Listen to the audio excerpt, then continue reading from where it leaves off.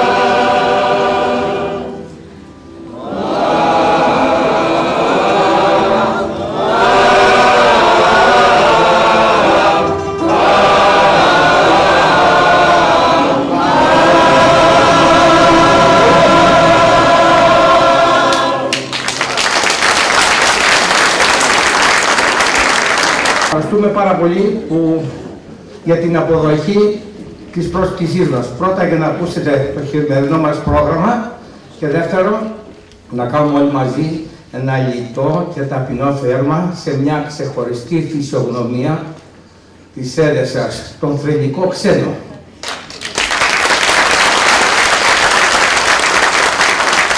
Και σήμερα συμπληρώνονται το 2000, από το 2008 μέχρι σήμερα δηλαδή, 10 χρόνια θανάτου, εννοείται ότι δεν πέθανε, κάπου εδώ κοντά μας είναι. Σίγουρα. Και αυτές ήταν και το ψυχό. Μέσα στη ροή του προγράμματος, πρώτα θα δείτε ένα μικρό βίντεο από το βίο και την πολιτεία του, ώστε διασκεδαστεί.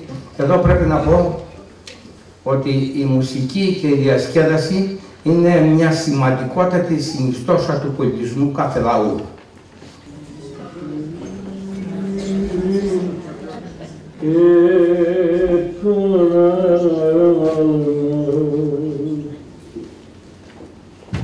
Yok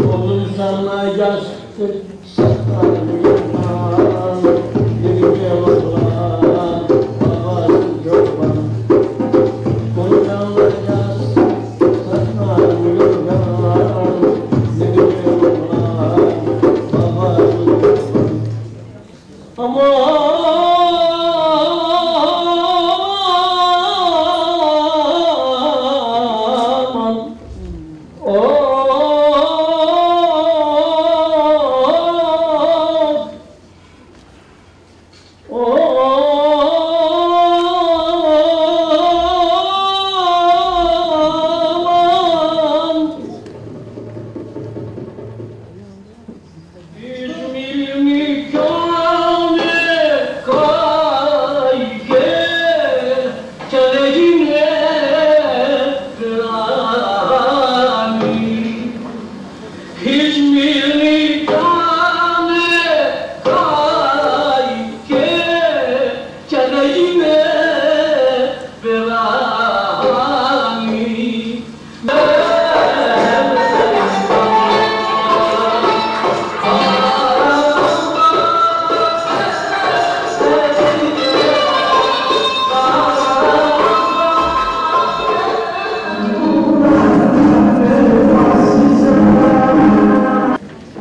Ξενοφώνα Κάμπαλης και κατά κόσμο ξένος γεννήθηκε το 1926 από γονείς πρόσφυγες που επέστρεψαν στην πατρίδα κακύκλεπος από το Χαμιδιέ της Μικράς Ασίας, περιοχή Μαγνησίας, εσωτερικά της Μύρνης. Ήταν το πρώτο τους παιδί και οι τότε αντίξωες οικονομικές και κοινωνικές συνθήκες που επέτρεψαν να βγάλει με το ζόρι το δημοτικό σχολείο, αφού έπρεπε να συνεισφέρει στον οικογενειακό κορβανά. Βοηθούσε δηλαδή τους γονείς τους στα χωράφια και τα μπέλια. Σε όλα τα μαθήματα έπαιρναν 0 έως 5, εκτός από μουσική που έπαιρνα άριστα, θα πει αργότερα αστειευόμενος. Παρακολουθεί μαθήματα βυζαντινής μουσικής για ψάλτης, μιας και μια σκέψη του ήταν να γίνει παπάς. Νεαρός και καλήφωνος όλ, κάποιος πρότεινε στους γονείς του να το στείλουν στην Αθήνα, να προσπαθήσει καριέρα τραγουδιστή. Οι γονείς του, άνθρωποι φιλήσυχοι και συντηρητικοί, αρνήθηκαν. Εκείνο 18 Ιανουαρίου 1984, στα σημειώματά μου στην Ελεσαϊκή, έκλεινα τη σύντομη αναφορά μου στη μνήμη του με αυτά τα λόγια. Να είμαι ευλογημένος που ακούμπησε τα τραγούδια του στα χείλη μας για να τα τραγουδήσει η καρδιά μας. Καθώς ευλογημένοι να είναι όσοι κερνάνε στο κοσμάκι γέλιο και τραγούδι. Ο ξένος ήταν ένας τέτοιος. Συνήθισμεν, αλλά ιδιαίτερους, που κάνουν έγχρωμη την άχρωμη καθημερινότητά μας. Γλεντζές, χαρούμενος, μεγαλόψυχος, ασίκης. Όλα αυτά, με μια λέξη, ασίκης. Τραγουδούσε με την καρδιά του, όχι για να εισπράξει τα μπράβο μας, αλλά όπως τα οδικά πουλιά τραγουδάνε γιατί αυτό τους επιβάλλει η μητέρα φύση. Σε εκείνες τις αλυσμόνητες εποχές της μεγάλης παρέας, που δυστυχώς έμεινα ίσως μόνος να τις θυμάμαι, στάθηκε ο φίλος και ο μεγάλος αδελφός. Στο παλιό κουτουκάκι του και αργότερα στο μεγαλύτερό του μαγαζί, φορτίζαμε τις μπαταρίες της ψυχής μας, καθημερινά. Δεν ήταν περιστασιακή επιλογή, ήταν το καθημερινό μας στέκι, όπως σήμερα συναντιόνται στις καφετέριες. Άλλοτε με τα ελάχιστα που είχαμε και άλλοτε με κάτι περισσότερο.